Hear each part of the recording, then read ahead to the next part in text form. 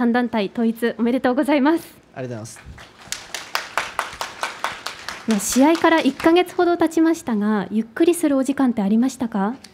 そうですね。あのまあ気持ちと体と少しあの休めながら、あのもうつい先日にまあトレーニングも再開したところではあります。はい、そして今からご感激されますが、はい、お気持ちいかがですか？そうですね、まあ、この世界的な作品をここ日本で、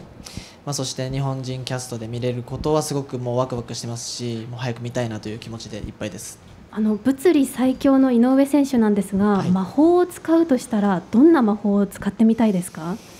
うんやはり、はい。もっと強くなる魔法をえさらにですか？使ってみたいなと。これ以上強くなったらって思ってしまうんですが、はい、まあ、まだまだなんかこう強くなる欲というものを持ちながらトレーニングをしているので、まあ、そんな魔法があればなと、はい、はい、ありがとうございます。それではご感激楽しんできてください、はい、ありがとうございます。ありがとうございます